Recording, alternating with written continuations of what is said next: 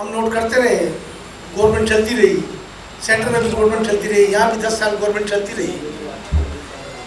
तो हमने कभी हेजिटेट नहीं किया। जब अब बात बनी है हमारी रियासत के इदारों पे और हमारे फौज पे स्पेशली नौ मई नौ मई का जो वाक्य हुआ है, ये हमारे लिए जो यूएसए में हुए नाइन इलेवन उससे बड़ा था, मगर हमारी जो स्टेब्लिशमेंट की प्लानिंग थी, वो बर वक्त सब जो फंडिंग जहाँ से फंडिंग हुई थी, सबसे पहले मैं फैसल नज़ीर की बात करूँगा डीजीसी इमरान खान उसको क्यों बुरा भला कहता है? वजह क्या है? हकीकत यह है कि उन्होंने जो फंड रोके थे लोगों के और जो इसके रबते थे किन मुलमानकों के साथ, वो लाइन उसकी कट गई थी। इमरान न्याजी के पास इसकी मुखालफत के अलावा कोई रास्ता था नहीं। फिर आप सब लोगों ने देख लिया, जनरल असम मुनीर की अपॉइंटमेंट में आखिरी दिन तक जल से जलूस इस्लामाबाद बंद करूँगा। पाकिस्तान को आग लगा दूँगा। फिर एक ड्रामा रचा इसने वजीराबाद में। अब जो एक्सरे है, जो इसका मेडिकल हुआ है, कोई गोली का निशान नहीं, कोई जख्म का निशान नहीं इतनी बड़ी, इतना बड़ा ड्रामा करके भी जो अट्ठाईस और सत्ताईस तारीख को ने पिंडी में जो जलसा किया है, चाहिए कि वो जलसा लाखों में होता, कम से कम पंद्रह बीस लाख लोग होते। वहाँ पे बीस हज़ार से ज़्यादा लोग आए नहीं। अभी जो नौ मई का वाक्य हुआ है, हम तो कह रहे हैं कि सबसे पहले रियासत है। ये हमारी माँ है। आप किसी मुल्क पे जाए, दुनिया के किसी मुल्क पे जाए, कोई स्टैब्लिशमेंट के पीछे स्टैब्लिशमेंट के पीछे बात नहीं कर सकता। वो इसराइल हो, अमेरिका हो, इंडिया हो जो तरह याफ्ता मुल्क है या बरतानिया हो, ये वाद पाकिस्तान बदकिस्मती है। एक आदमी उठता है और स्टेब्लिशमेंट के पीछे बातें करते हैं। दुनिया का कोई मुल्क ऐसा नहीं है जो हुकूमत बनती है, किसी मुल्क में भी। वह पेंटागन, पेंटा, अमेरिका की हो, वो पेंटागन बनाएगी। इंडिया में राह बनाएगी। ब्रिटिश में एम सिक्स बनाएगी। ये ये रियासत कायम दायम रहती है, ये लीडर आते जाते हैं। तो मैं अपने तरीके इंसाफ वाले भाइयों से, जो ना समझे, जिसकी ब्रेन वॉश की गई है, चाहे उनके माँ बाप से पूछे, और आपने कल्चर क्या बना दिया मेरे पॉलिटिक्स का?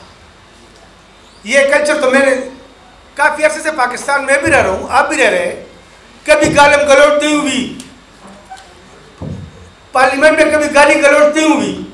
ये ट्रेडिशन किसका था? और ये जो सिलसिला जो नौ मई का हमने देखा है ये 22 साल 22 साल पहले 22 साल बाद चल, पीछे चले जाए। जिस तरह इराक में हुआ है शाम में हुआ है यमन में जो हुआ है लीबिया के साथ क्या हुआ है? ये इसराइल और अमेरिका जो मुसलमान मुल्क जिसमें फौज मज़बूत है। इनकी यही ख्वाहिश रहती कि फौज को डिवाइड करे। और ये आदमी उसी फौज के खिलाफ उन्हीं के इशारे पे। ये तो 2014 की पार्टी खत्म हो गई थी, जब फॉरन फॉरन फंडिंग उसकी बरामद हो गई थी। फॉरन फंडिंग पकड़ी गई थी। फॉरन फंडिंग किसने की है? इंडिया की क्या, इंडिया की क्या औकात क्या हमें हमें फंडिंग करे? उसके मकासद थे अपने। जुर्स की क्या थी उनके मकासद थे अपने जो भी हुआ इस कौम के साथ, नौ मई के साथ। जो नौ मई में हुआ है, पूरी कौम एक साइड पे, और इसके पाँच हज़ार आदमी एक साइड पे। इसको कौम नहीं कहते। पहले साफर ले रहा है, साफ़, ये साफर, जी, मुझे अमेरिका ने निकाला है। अब अमेरिका की मिनते करते हो तुम तो उसके पले पालो जो भी पार्टी, जो भी आदमी मुसलसल अमेरिका मुखालफत करते रहे, वो उन्हीं का आदमी होगा जमान नासर जमान नासर के पच्चीस साल बाद पता चला है कि वो अमेरिका के एजेंट था। ये तो अल्लाह का शुक्र है कि हमें बाईस साल पता चल गया कि अमेरिका के एजेंट कौन है यहाँ पूरी कौम पूरी कौम इस टाइम अपनी फौज, अपनी रियासत के साथ शाना बशाना खड़ी है। मैं वो बातें करूँगा जो हम अमूमन आजकल चलती रहती है। एक दो औरतें मैंने देखी है। General Asif Nawaz Janjua chief of army staff ex उसकी नवाजी, उसका दामाद, उनका पाकिस्तान के साथ मोहब्बत क्या है? वो तो डूल नेशनलिटी है। कहने, बरतानिया बरतानिया मुझे छुड़ा लेगी नहीं? हम बरतानिया में कुछ करें, हमें बरतानिया पकड़ेगा। तो हम क्यों नहीं पकड़ेंगे बरतानिया के आदमियों को कि पाकिस्तान में मुदाखलत करे? वो फौजी तनसीबात पर हमले करे। हम उसकी कंडेम करते हैं। कोई कहते मैं, मेरे पास ड्यू अमेरिका की है। नहीं, आपने पाकिस्तान में वारदात की, आपको पाकिस्तान में जवाब देना पड़ेगा। आपने रियासत के खिलाफ बात की है। आपने आपने जिन्ना हाउस को चलाया है। आपने कोर कमांडर लाहौर को चलाया है। यहाँ पे जो वाक्य हुए के पी में, ये तारीखी जो जगह थी रेडियो पाकिस्तान। मैंने मन चाकी का। इसका हम पूछेंगे, ये ये लोग आते हैं चैनल पे? जी, मुझसे गलती हुई है। माफ़ी नहीं, जी। इन किसी को माफ़ी नहीं होनी चाहिए। और मैं ये रिक्वेस्ट करता हूँ फेडरल गवर्नमेंट को भी और स्टैब्लिशमेंट को भी। जैसे आपने पंजाब में फौजी अदालतें कायम की हैं, वही अदालतें आपके पी के में कायम करें तो स्पीडी फैसला मुझे दे जी। पूरी कॉम्फोर्ट के साथ खड़ी, हम फैसले के मुंतजर है जी। अच्छा ये जो अमेरिकन के जो सेनेटर है, जो इसके लिए मिनते तरले कर रहे हैं, और जो यो, और जो औरती सेनेटर उससे मिनते कर रहे हैं कि जी मेरे पास नब्बे फ़ीसद आवाम है तो भी आज पड़ी कि आपके पास नब्बे फ़ीसद आवाम का है, नौ तारीख को पता चल जाता ना कि आपके पास कितनी आवाम है। पूरे पाकिस्तान में चार हज़ार लोग नहीं निकले इसमें। और अभी तो इन कोई भी नहीं निकलेगा, जो मोहब्बतन होगा, जो बट को हुआ पीटीआई में था, वो आप कभी नहीं निकलेगा इन अल्लाह की मर्ज़ी से। अच्छा ये जो ये जो साठ सेनेटर थे जी, इसमें ज़्यादातर जूस है, और ये रिपब्लिकन के हैं, ये ट्रंप के हैं जिसने कश्मीर को दिया था, ये उसके, ये वो वो वाले सेनेटर है, जो पाकिस्तान के टम्बम के खिलाफ है, पाकिस्तान अरबी के खिलाफ है, ये वो वाले सेनेटर है। सर, इसकी कोई औकात ही नहीं है। बाइडन इसको लिफ्ट नहीं कर तो हम क्यों लिफ्ट करते? हम अमेरिका से नहीं डरते। अमेरिका के साथ लड़ेंगे हम। अगर वो हमारी कौम में मुदाख, पाकिस्तान में मुदाखलत करेगा, इनका जवाब पत्र से देंगे। अब इन हम एक नए ब्लॉक में जा रहे हैं। नए पाकिस्तान इन अब कोई कह रहे नए पाकिस्तान, कोई पुराना ये ये हमारा पाकिस्तान है, हमें हमारा पाकिस्तान चाहिए, किसी का पाकिस्तान हमें नहीं चाहिए। आपने तो वो जगह भी नहीं छोड़ी, जहाँ पे परिंदे पर नहीं मार सकते, कौन सी बात नहीं कर सकता। आपने लोग भिजवा दिए मदीना मदीना में, मस्जिद नबू में। आपको उसी की बद दुआ लगी है। आपको अल्लाह ताला मस्जिद नबी की बरकत से तबाह बर्बाद करेगा, और आप तहरीक पार्टी है नहीं। तहरीक जब बनती है, वो कोई और बनाता है। फिर उसका अंजाम, वो ज़्यादा नहीं चलती, वो पंद्रह बीस साल चलती है। पार्टी की उम्र सौ सौ साल होती है, जिस तरह एन की उम्र सौ साल है जे यू आई की उम्र सौ साल से ऊपर है। ये तहरीक है, जिस राय थी, उस तरह ख़त्म हो गई। अब इसका कोई नाम निशान नहीं रहेगा, उस पर पार्लियामेंट के दरवाजे बंद हो गए फॉर अच्छा आपका मौलाना फजल रहमान के साथ क्या दुश्मनी है? यह मुझे बता दें। आपके साथ अलका शरीक है। आपके साथ सुबह शरीक है, आपके साथ प्रॉपर्टी शरीक है? नहीं, ये बात नहीं जी। मौलाना फजल रहमान के बाप, मौलाना मुफ्ती महमूद ने 1974 में कादियानी को अकलीत में बदल दिया था। शाह अहमद दुरानी के खिलाफ, उसके बेटे के खिलाफ। ये इनके साथ कभी लहर नहीं किया, इनको टारगेट मिला है कि इन्होंने हमें अकलीत किया है।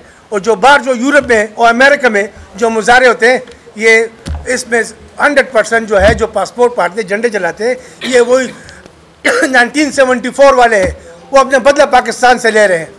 इन पाकिस्तान के अवम बाशूर है और अपनी रियासत के साथ शाना बशाना कड़ी है। अच्छा डीजीसी का मैंने बता दिया आपको कि डीजीसी इसको क्यों बुरा लगता है कि इसने इसके जो फंडिंग हो रही थी, जो रबते थे, वो उन्होंने मुनक़ कर दिए थे। आसिम मुनीर, जनरल आसिम मुनीर का। जब D G I S I था तो आपको सबूत दे दे कि आपकी घर वाली हो, ये चोरी करते हैं। तो जक़ा इमरान खान बड़ा खुश होगा, मुझे अप्रिशिएट करेगा। जब इमरान खान को उसने कह दिया कि ये तो जल्दी बाजवा को, उसने बाजवा बाहर जा रहा जाँच से उतरा स्पेशली कि इसको अभी रिव्यू करो। फिर रात के साढ़े ग्यारह बजे जनरल फैज अमीद ने चार्ट दिया जी रात के साढ़े ग्यारह बजे इतने इमरजेंसी में डी जी का। फिर जहांगीर तरीन को उसने गिला कर दिया, आसिम मुनीर ने। कि इमरान खान ने मेरे कैरियर दो पे लगा दिया, मगर मैं अपने फैसले अल्लाह पे छोड़ता हूँ। वो मुकाफात अमल फैस कर रहा है। इसने जो जो बातें की मुझे बता दे, इसने जो सच बात की वो मुझे बता दे। बदकिस्मती देखिए यार अब मीडिया वाले मेरे के पी के हैं? मेरे पेशावर के हैं? आप क्यों नहीं बोलते इन मरीजों के खिलाफ जो जो छोटे छोटे दुकानदार थे, जो मेडिकल रेप थे, आज पति बने? क्यों इंतज़ाम नहीं होता? मैं जनरल नजीर भट्ट को भी यहाँ से कहता हूँ जी, चेयरमैन लैब को भी। और डी जी नैब को भी यहाँ कहता हूँ, कि इनके खिलाफ जो मिनिस्टर है, यहाँ रह चुका दस साल। उनकी करप्शन की कहानी सरेआम है। इनके एहतसाब क्यों नहीं होता? ये दौरे मेयर क्यों रखा जाता है? इनकी औकात क्या थी? शौकत सजी कह रहे मेरे पास बिजली के बिजली के पैसे नहीं है। अब दाएँ और पति है। पूछो उसे कि पाँच साल पहले आपके बिजली के पैसे नहीं थे आपके पास। असद कैसर से ये नहीं पूछता कोई कि आपने जो असम्बली बनाई, नई असम्बली उसमें करप्शन कितनी हुई है? आपने स्पीकर कितनी करप्शन की है? आप तो जब पेशावर आते थे तो पेट्रोल के पैसे मुझसे लेते थे, गाड़ी किसी और की होती थी, दो हज़ार तेरह के इलेक्शन से पहले। इनकी औकात क्या थी? मालम जब पे कोई बात नहीं करता। क्योंकि इसमें बनी गाला पार्टनर है बी पे कोई बात नहीं करता। इमरान खान से कोई बात करे इस पर वो नो कमेंट्स करता है। क्यों? पार्टनर है आप।